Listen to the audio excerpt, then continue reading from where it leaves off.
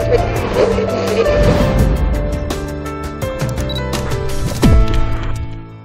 Отмечать 55-ю годовщину полета человека в космос начали 9 апреля в самом звездном месте Москвы – аллее космонавтов. Рядом с Циолковским, Королевым и Гагарином появились бюсты четырем летчикам-космонавтам. Все в звании дважды Герой Советского Союза. Это Александр Александров, Валентина Лебедева, Владимир Соловьев и Светлана Савицкая. Звание дважды Герой СССР дает право на прижизненное увековечивание орденоносцев.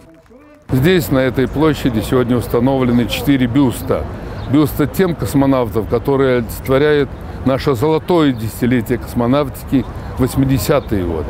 Я хочу поблагодарить всех космонавтов и поблагодарить Советскую Светлану Евгеньевну.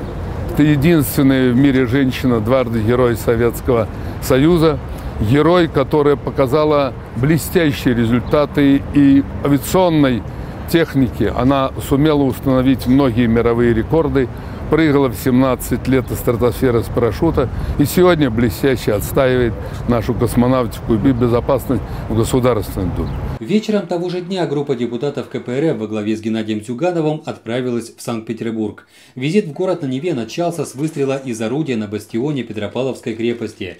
Так в Санкт-Петербурге отмечает каждый полдень. Исполнить эту давнюю традицию доверили лидеру КПРФ. У меня отец сражался на похожем орудии, был командиром расчета, защищал Одессу, Севастополь, был смертельно под Севастополем ранен.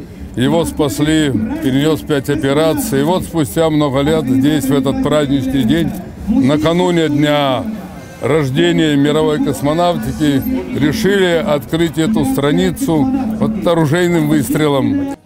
55-ю годовщину полета Гагарина в космос размахом отмечали по всей стране.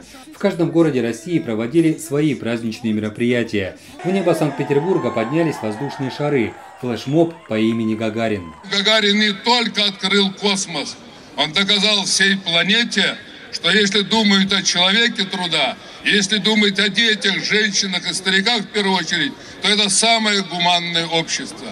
И Гагарин вместе с Королевым, Курчатовым и Келышем спасли мир, создав ракетно-ядерный паритет.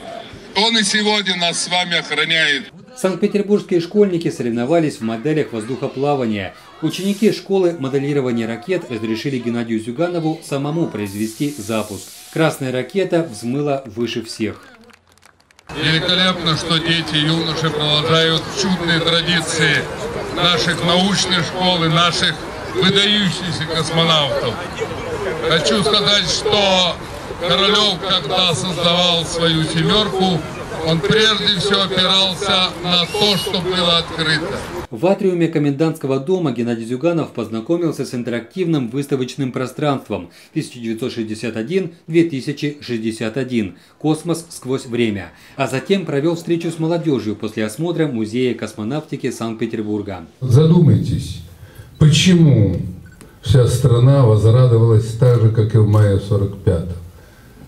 Почему, когда Крым и Севастополь вернулись в родную гавань, страна также праздновала, как космический полет Гагарина и великую нашу победу?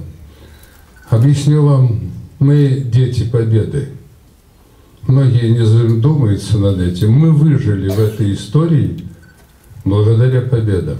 Уже в Москве 12 апреля Геннадий Зюганов вместе с другими депутатами и активистами КПРФ возложил цветы к Кремлевской стене у могилы Юрия Алексеевича Гагарина. Зюганов еще раз напомнил о неоценимом вкладе в мировую науку, который внес первый полет человека в космос. Я хочу вам продемонстрировать газету «Правда».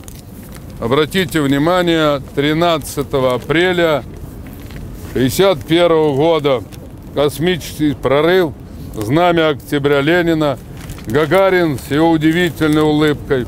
И если вы откроете и почитаете все поздравления и приветствия, вы просто ахнете. Джону Кеннеди трудно было заявить, но он первый вышел в Америке, президент США, и сказал, да, я поздравляю СССР, они обогнали нас. Мы с горечью сообщаем, что советская техника, наука оказались гораздо сильнее. Сейчас, пожалуй, нет такого жителя планеты Земля, который не слышал бы фамилию Гагарин.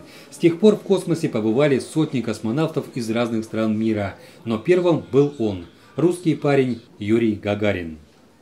Иван Жушман, Алексей Шеляков и Николай Прокопенко, КПРФ ТВ.